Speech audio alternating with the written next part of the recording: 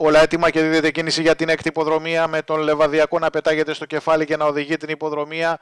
Προσπαθεί να πιέσει τώρα για το κεφάλι, ενώ έχει φύγει από τον Όρκο το αναβολέας από τον απόδι του αναβάτη του, του ψαραδάκι, το οποίο γρήγορα το επανατοποθέτησε. Έρχεται ο Ατήλα πλέον για να περάσει και αυτός εσωτερικά μπροστά. Και πράγματι ο Ατήλα τελικά βγαίνει στην πρωτοπορία. Μουρικ Μάστ βελτιώνεται, περνά δεύτερος.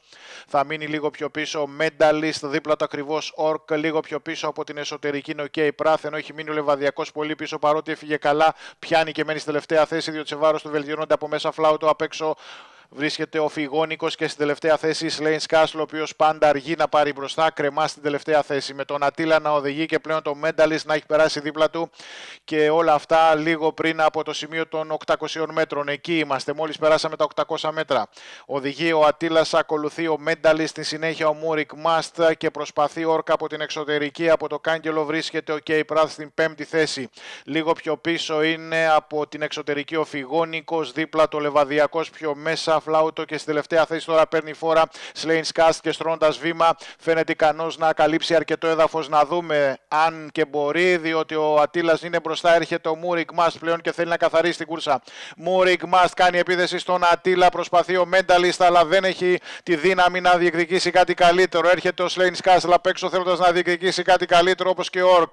Ποιος μπορεί να απειλήσει τον δεύτερο, διότι ο πρώτος καθαρίζει. Μούρικ Μάστ και Ατήλα στα τελευταία μέτρα θα ξεφύγει ξεφύγουν. Νούμερο 2 Μούρικ Μας θα πάρει την νίκη. Νούμερο 7 Τίλα στην δεύτερη θέση. Μάχη για τρίτη, τέταρτη θέση με νούμερο 8 βέβαια Μένταλιστ και ο Σλέιν Σκάσλι συνέχεια.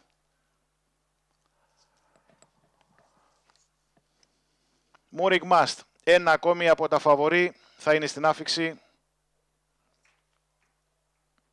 Νικητής αφήνοντας τον Ατήλα τελικά δεύτερο και στη συνέχεια τα άλογα που επίσης παίχτηκαν δυνατά μαζί με το Μούριγ Μάστ, ο Μένταλιστ και ο Σλέιν Σκάς που κάλυπτε συνεχώς έδαφος αλλά δεν θα μπορέσει να διεκδικήσει κάτι καλύτερο. Εδώ, νούμερο 2, νούμερο 7, 8 και 5 πιο πίσω θα τους δούμε σε λίγο. Εδώ,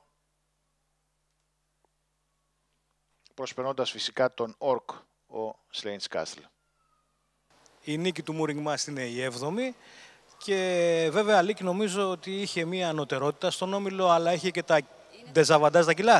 Ναι, σαφώς είναι ανώτερο από αυτά τα άλογα, γι' αυτό και έχει περισσότερα κιλά. Έκανε μια εκπληκτική καβάλα διαδρομή ο Κώστας. Μπράβο και συγχαρητήρια. Έκανε την υπομονή του, μπήκε στην ευθεία και έδειξε πολύ καλά το άλογο. Το άλλο έδειξε ότι είναι απαλλαγμένο και από τα τελευταία προβλήματα που είχε, γιατί ταλαιπωρήθηκε αρκετά το τελευταίο διάστημα. Σαφώς είναι πολύ καλύτερα. Τον δουλέψαμε όπως θα έπρεπε, όπως χρειαζόταν και επανήλθε πολύ καλύτερος. Λοιπόν, να σου δώσουμε συγχαρητήρια και Κώστας Μαστοράκης. Περάστε κυρία. Μπορείς να κάτσεις εδώ, Αλέκη. Ε, εδώ. Λοιπόν, νομίζω ότι σου έφερα γούρι. Τρεις ναι, ναι. Νίκες, έτσι. Σε, ε, στη σημερινή μέρα καλά πήγε.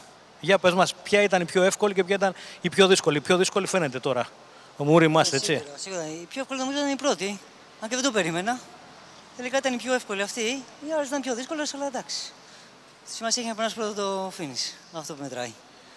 Δύσκολα, εύκολα.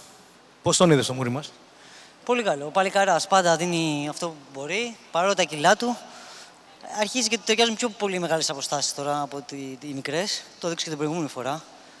Ε, τι να πω για αυτό το άλογο, είναι πολύ καλός. Και πάει στο χέρι σου. Εντάξει, δεν έχει νομίζω ότι έχει κάποιο θέμα με τα χέρια. Άμα είναι καλά αυτό το άλογο, όποιος τον καβαλήσει, σου δίνει αυτό που, που, που μπορεί. Εντάξει, τρέχει καλά και μαζί μου, δεν μπορώ να πω.